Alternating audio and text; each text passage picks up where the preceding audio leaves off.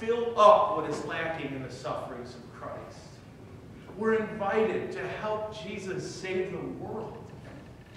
And even when we're suffering because we've sinned, we can still say, Jesus, I join you on this cross right now. You're not going to die alone. And we help him save the world. That's how total and complete God's victory over sin and death is. That he can even use our sin to help him save the world. How much more than our sufferings in innocence we can join him and help him save the world. This is total victory over suffering. This is total victory over death. And it's ours because he gave it to us. We have a God of extraordinary love, a God of extraordinary power. He has conquered it all, and he makes his victory our victory. When we suffer, cry out. Cry out to God. Give him that pain. Ask him for the grace to believe and to live what you believe, not what you feel. Understand he is right with you in that moment of fear, in that moment of sorrow, in that moment of confusion. He's not ashamed of you. He's next to you. He's suffering with you at that moment. He proved it by the incarnation. He proved how far he'll go. To ransom a slave, God sent his son. We can ask Mary for help and prayers during those times. We can ask her to stand with us at our cross and, and, and see and, excuse me, act out of what we know and believe. And why do we know and believe it? Because God said it and he has proven so dependable. He has proven that his word is true. Are we broken? He's broken with us. Are we rejected? The people, do people despise us not for our evil, but for our good? He was despised and rejected. Do we weep? Is our grief a familiar spirit, a horribly familiar friend that trails us wherever we go? Our scripture says he was a man of sorrow, acquainted with grief. Do people misunderstand us? Turn away from us? Talk about us? It says in scripture that they hid their faces from him and treated him as an outcast or a leper. Is our love betrayed? Our tenderest relationships broken? He too loved and was betrayed by the ones who he loved. It says in the Gospel of John that he came into the world for his own, but his own rejected him. All of this, God sits with us. And we can choose to believe and live out of faith that he suffers with us. And you know how his suffering ended, right? It ended in resurrection, and so will ours. So will ours. We can believe that because God said it.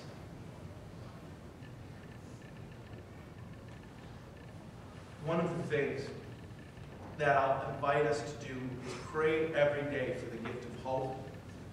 And pray every day that whatever our suffering or our pain or our sorrow, He's with us. And we can even pray that God show us why it's happening. Although understand that might not happen until the kingdom of heaven. I spent three months in Poland. And while I was there, I got tour, a tour of one of these magnificent castles. And they had on the wall these tapestries hanging, and they told these beautiful stories. Have seen these kinds of tapestries? It's extraordinary. And in the next room over was the room where they were repairing the old tapestries. And you know, what I saw was the front of the tapestries. This beautiful story, incredible, intricate, amazing work. Years and years for people to complete. But when you get into the room where they're repairing them, you see the other side of the road. And it's a mess. Crisscross colors, a mishmash of nonsense. It makes no sense when you look at that tapestry from behind. And in the same way, right now, that's our view of life. We see this mishmash of pain and of sorrow, moments of joy, all of it. And it seems to make no sense. Why is she suffering, Lord? She's done everything right. Why am I suffering? I was trying to do the right thing. God, what's going on? I tell you, when we see him face to face, he'll flip that tapestry over and it will take our breath away. We may even see that the suffering that so confounded us, that it wasn't about us. It was about someone else who saw us holding on to our faith in the darkest hour, and that gave them the strength to do the same thing.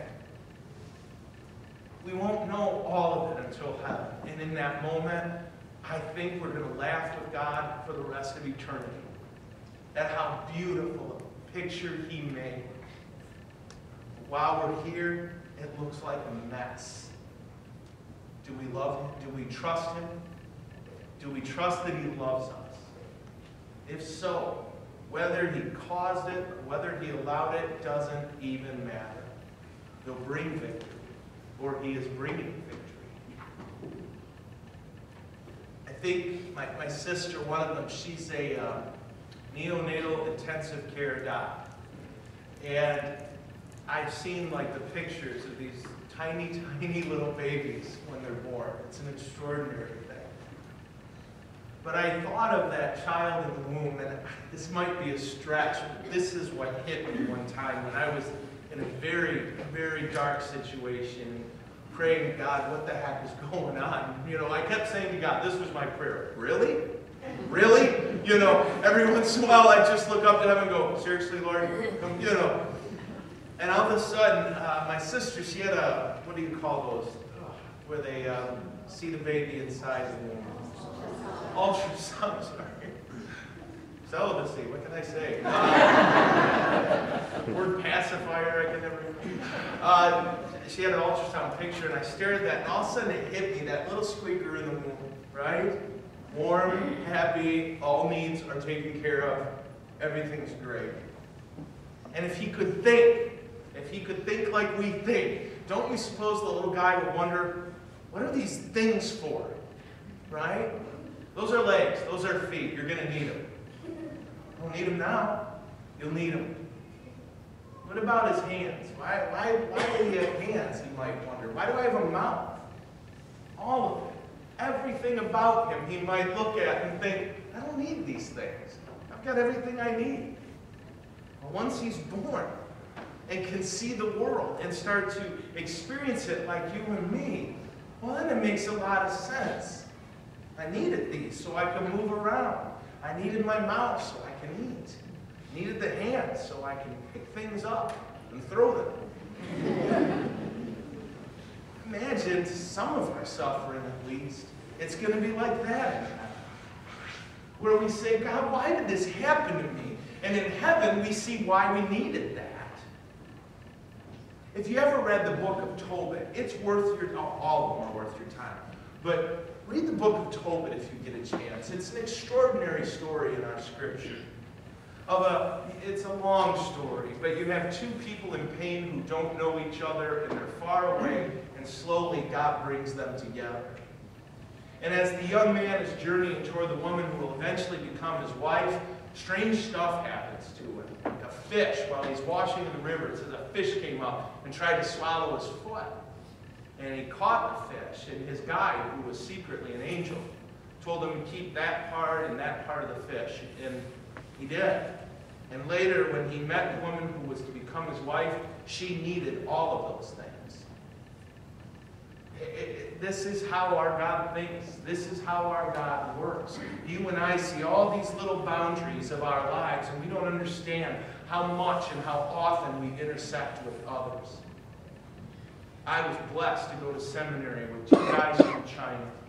Roman Catholicism is illegal in China, and you aren't treated with mercy.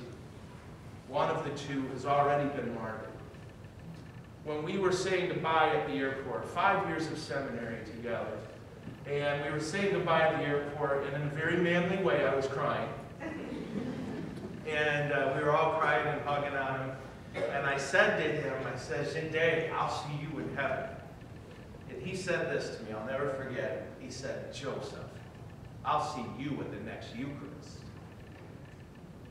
And the next time I was at Mass, and the priest held up the host. I wasn't a priest yet. He held it up, and it struck me. That's not just an imitation of Jesus at the Last Supper. That's the one. In every Mass, when we receive Him, we're receiving the same Eucharist that every faithful Catholic has through all time and history. We are bound by this. And because of that, we're connected in a way we can't understand yet. And maybe our suffering is for someone in China. Maybe our suffering is for someone in South America. Who knows?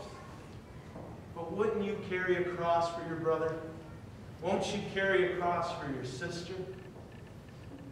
We hold these things and we see that our life has eternal significance. All of it. We're all connected because of the wonder of the Eucharist. Our God offering himself to us, binding us together. Of course we're going to hurt for each other. Of course we're going to carry for a brother that we don't know now, but we will in heaven. We'll carry that bag for him. We'll carry that box for her. In our suffering is this reminder that our lives are not just about us. Our lives are about Jesus, who binds and unites us to all,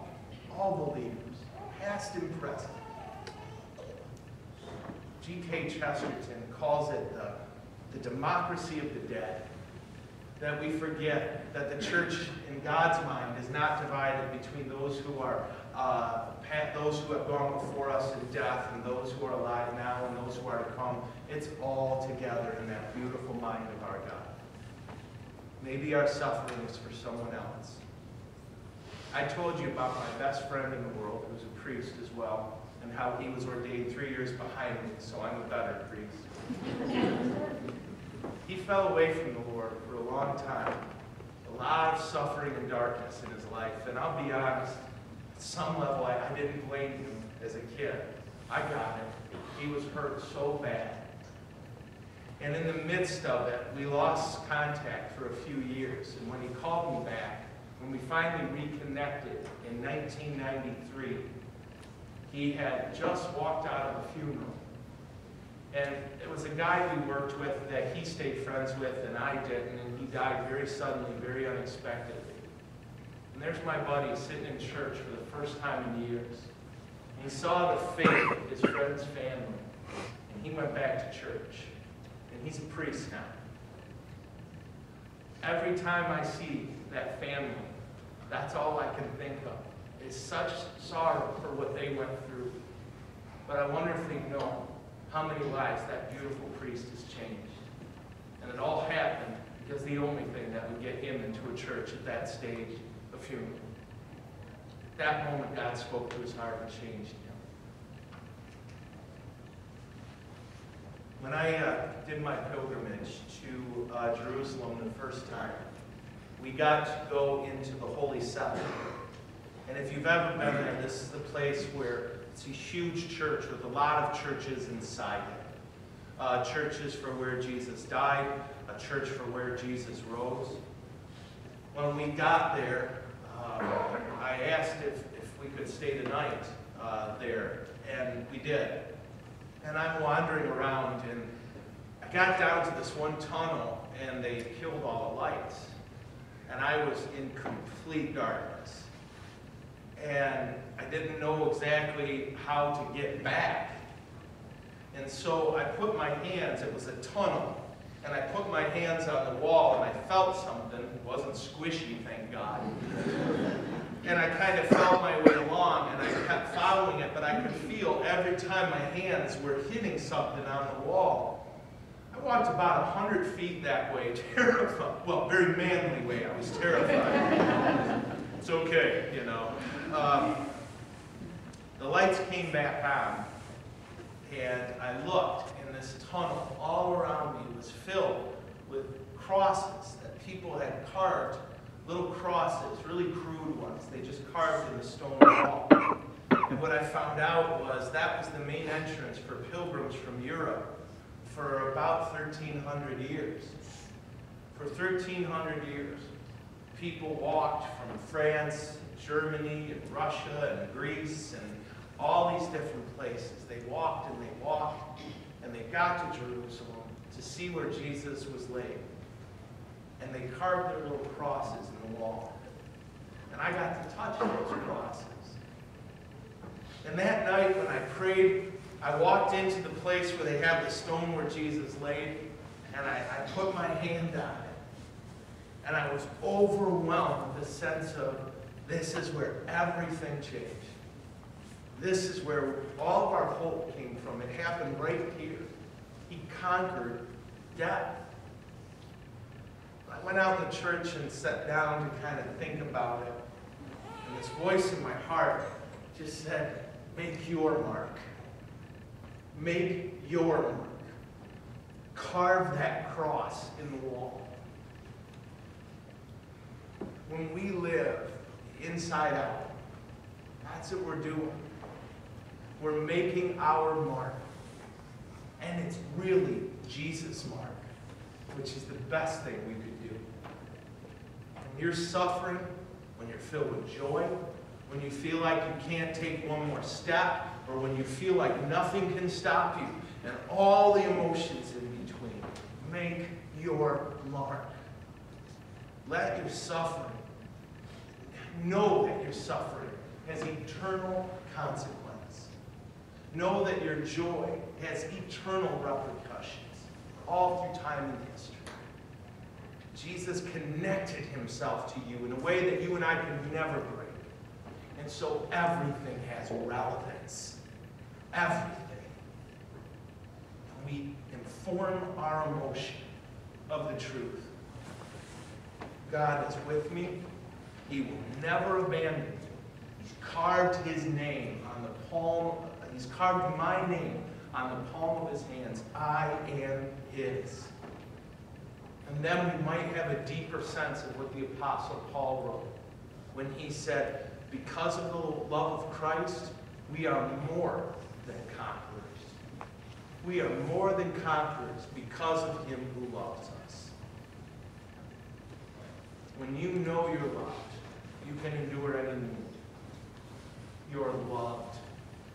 You're loved perfectly at every moment. And so we will be faithful. We will live inside out. We will join our sufferings to Jesus. We will help him save the world. This is what we'll do. When we hurt, we'll let him know. Because each tear, each cry, every one is an invitation to him to immediately come in and begin the work of healing we can reach out in our pain. Find other people's pain and pray for that. Find other people's wounds and dress those wounds. This is what Jesus did in his moment of suffering and darkness. When we do this, when we live inside out, we'll find day by day our hearts are strengthened, our souls are fortified, and we are able to live the life that God keeps telling us we can do. God believes that you and I can become saints, not spiritual survivors. That's for wimps. He believes we can be saints. So let's get busy about it. Praying each day, loving God and each other with all our hearts and minds, suffering with Him in our suffering and recognizing that every action, no matter how small or how grand, has eternal consequence because we are joined in Christ. When we do this, we live inside out. We will make our mark, and it will change the world forever. Amen? Amen.